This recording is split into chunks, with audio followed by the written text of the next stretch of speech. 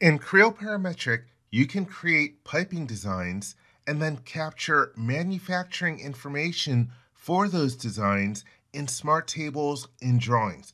One of those tables is a bend machine table, but there is a step you're going to have to perform in the piping environment first. Here I am in my assembly model. Let's go to applications and then piping. Over on the right hand side of the ribbon, we have the piping info icon. I will click on it and it opens up the report pipeline dialog box. For a bend machine table, I will go to the info type drop down list. Here is the kind of table that I want to create, so I will select it. And then I'm prompted to select a segment or a direction. So let me select a segment.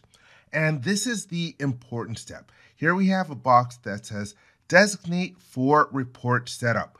We need to check this box if we want to have this information available in drawing mode to use in a repeat region. So I will check the box.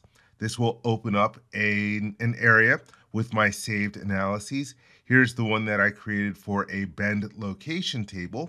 Let's type in a name and I will call this bend machine and then hit the little save icon. So now we have that as a saved analysis. By the way, if you want to see what this report looks like, you can click on the little eye icon and it'll open up a window that shows you what would be shown in the report. We've got our bend number, offset, twist angle, bend angle, and bend radius. So that's the same table I'm going to create in a drawing. Let me close this small window and then close the report pipeline dialog box. Already have a drawing started in another window. In another video, I created the bend location table. Let me create the table for the bend machine information. I will go to the table dropdown. This is going to have five columns and it's going to have two rows, a header row and also the row for the repeat region. So let me choose that and I'll place it on the drawing. And at this point, I'm going to fill in the information quickly. I've already shown how to fill in the information in several other different videos. So let me do that and then we will come back.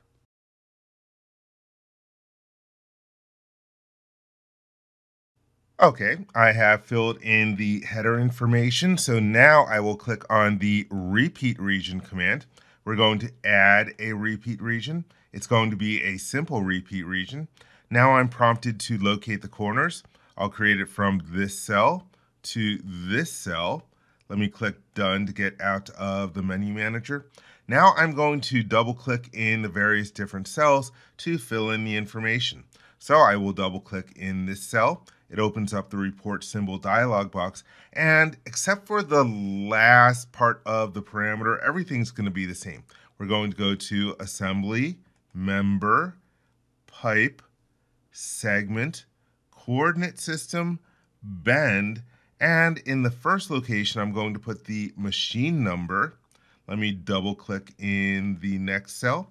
We're going to put, again, the same information, assembly, member, pipe, segment, CSYS, bend, and then this is going to be the machine offset.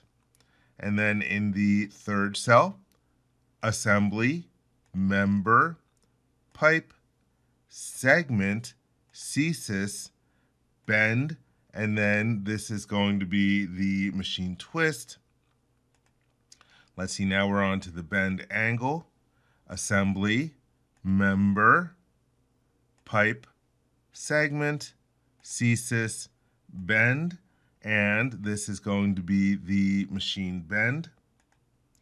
And then for the last one, this is going to be assembly, member, pipe, segment, CSYS, bend, and this is going to be the machine radius. Okay, so now all the information is filled out. Just like in the previous video on bend location, if I click on the update tables, well, it's going to look like we have an empty table. Let's go to repeat region and change the attributes for this region. And we're going to choose no duplicates and recursive. Then done return. Now we have the information populated in here.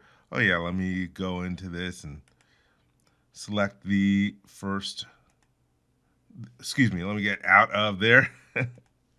and now let me get the row and go to the format and I'm just going to center justify everything.